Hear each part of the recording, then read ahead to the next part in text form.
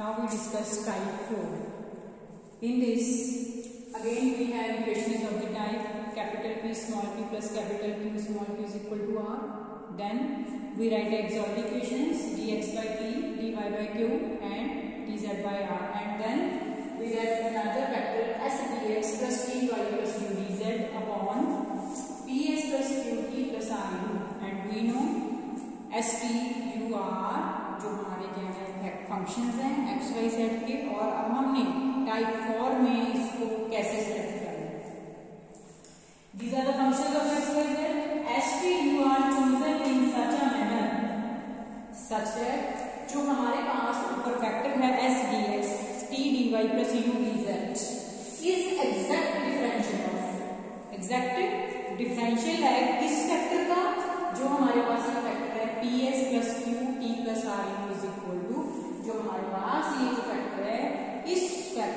factor का वो exact differential होना चाहिए।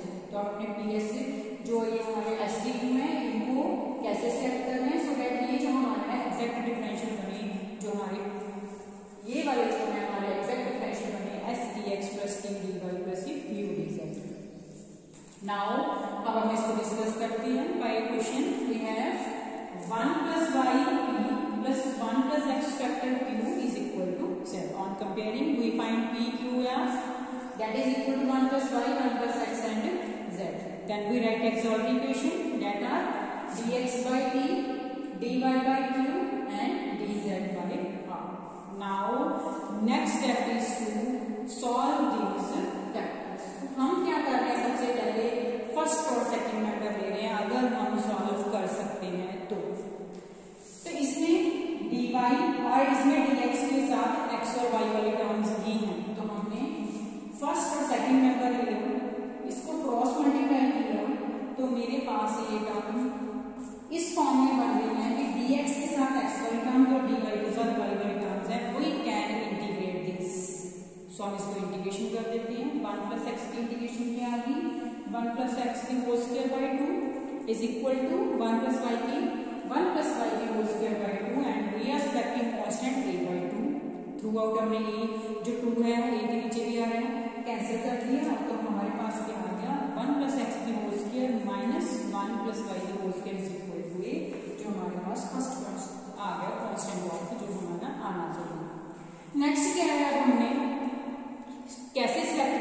हमारी फ्रैक्शन जो है हमारी हमने क्या किया? dx और dy जो हमारी ये फ्रैक्शन है यहाँ से नंबर वन अगर हम इनको, देखो, dx और dy आप इसको ये कह सकते हो कि हमने वन वन मल्टीप्लाई ज़ीरो से मल्टीप्लाई किया, या हम सिंपली क्या कह सकते हैं, हमने इनको ऐड कर दिया।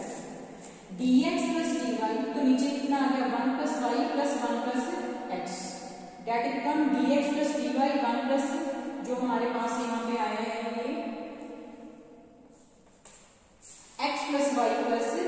वन प्लस वन है उसको हमने क्या लिख दिया? टू और तीसरी फ्रैक्शन जो है वो हमारे पास क्या डी जेड बाई जेड तो हमने फ़र्स्ट टू फ्रैक्शन और जो थर्ड फ्रैक्शन है, इसको कंबाइन कर दिया तो हमने फ़र्स्ट टू फ्रैक्शन को हमने ऐड कर लिया और लास्ट फ्रैक्शन ऐसे की। या हम ऐसे क्या कह सकते हैं? कि हम इसमें क्या सेलेक्ट किया वन वन ज़ीरो जिससे इसको वन से किया इसको वन से और ये हमारे पास क्या आ गया? ऐसे।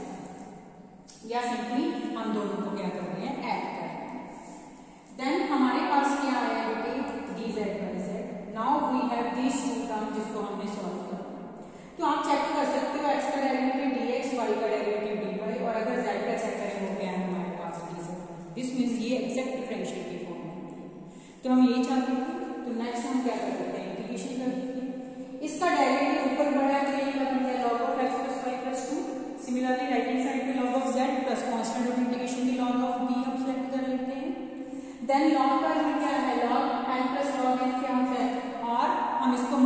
मॉडुलस फॉर्म में ले रहे हैं फ़ंक्शन को जब हम इसको इंटीग्रेट करेंगे हमारे पास log ऑफ़ फ़ंक्शन आएगा देन हम क्या कर लेते हैं कांस्टेंट अभी c ले लेते हैं फिर हम log की रूल अप्लाई करते हैं, जब डिवाइड में होता है तो हम क्या कहते हैं, log m minus log n, और जब मल्टीप्लाई में होता है तो हम क्या कहते हैं, log of n plus log of n तो अब यहाँ पे हमारे पास मल्टीप्लाई में आ रहा है तो हमने क्या लिख दिया z इससे और मॉडुलस हटा दिया जिसके कारण ये प्लस माइनस होना हमारे पास आ बिकॉज़ मॉडुलस का मतलब ये two values positive and negative modulus हटा दिया और लॉग के अकॉर्डिंग ये हमारा प्लस में है तो जेड इंटू सी बन गया। और इस साइड क्या है? Log of X plus Y plus two and lastly हमने लॉग बी कैंसिल कर दिया, जिससे मेरे पास आ गया X plus Y plus Z is equal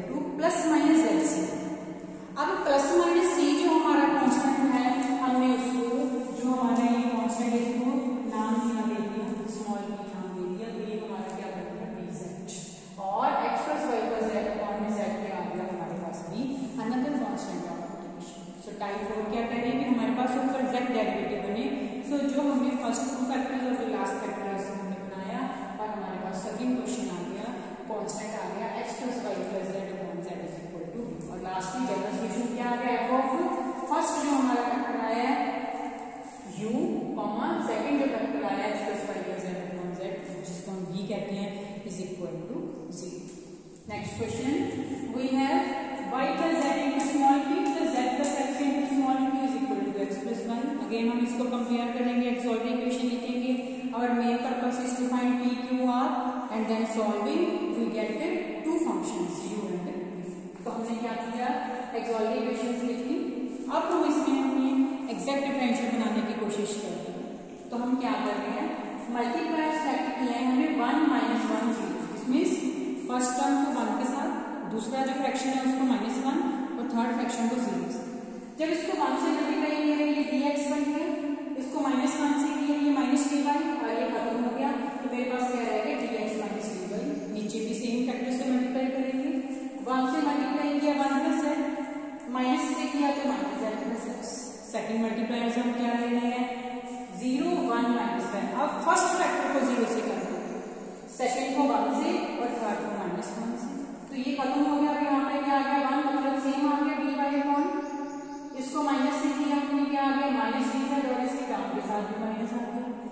similarly third हम सेलेक्ट कर रहे हैं? One one one. अब तीनों ही मल्टीप्लाई जो हमारे क्या है, वन वन वन सेलेक्ट कर रहे हैं सो डेट हमारा एग्जैक्ट डिफरेंशियल तो उससे क्या आ जाएगा? D X plus D Y plus D Z और ये टर्म हमारी ऐसे की हो और ये क्या कर गया? जब इसको ओपन करेंगे, y minus Z plus Z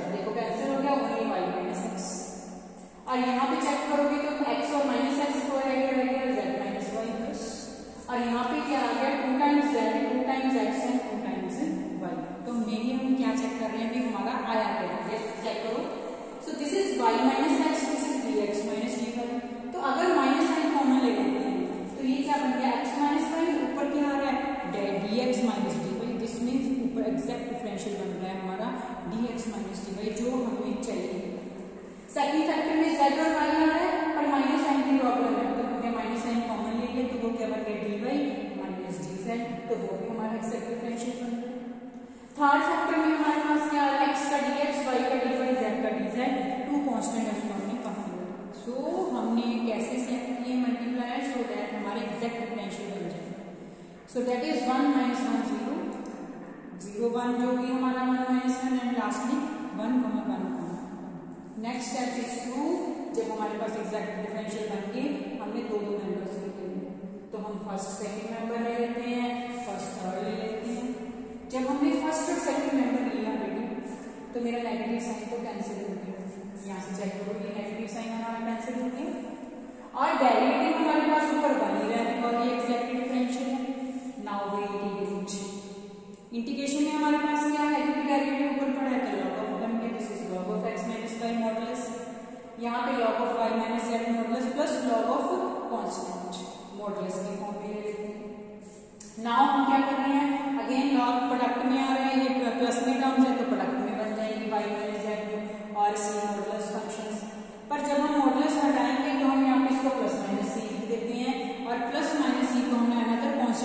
दे दिया स्मॉल ए और से हटा दिया और अब पहले हमने डॉट हटा दिया। सो वी है X minus Y upon Y minus eight is equal to A first जो हमारा कॉन्स्टेंट है।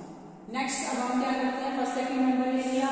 फ़र्स्ट लास्ट ले लेते हैं। सेकेंड लास्ट नहीं ले सकते जब हमने फ़र्स्ट और लास्ट लिया, इसका डेरिवेटिव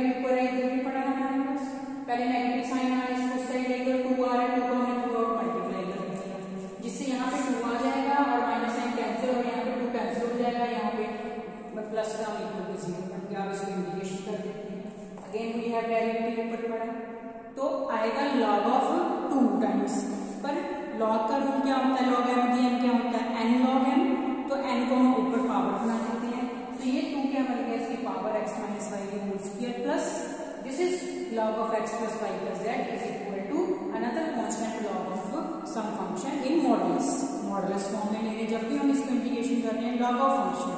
बाद में modulus हटाते हैं तो हम प्लस माइनस वैल्यू सेलेक्ट कर लेते हैं। नेक्स्ट जब हम क्या करते हैं? log का रूल अप्लाई करते हैं तो मल्टीप्लाई में फ़ंक्शन हो गया और मॉडुलस भी हटा रहे हैं तो प्लस माइनस कांस्टेंट हो गया। अब इसका अनदर नाम हमने दे दिया, क्या है? Small so we have x minus y whole square into x plus y plus z is equal to b. So, now we have general solution f of x minus y upon y minus z.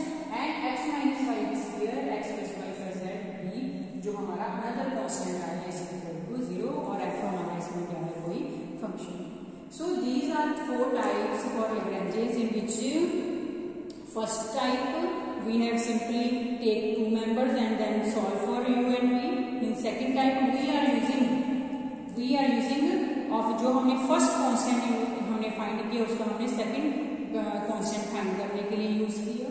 Third time में हमने multiplier select किए such that हमारा जो denominator है zero बन जाए and then we can integrate and lastly in fourth type we have discuss we are selecting this S V U in a manner so that this is exact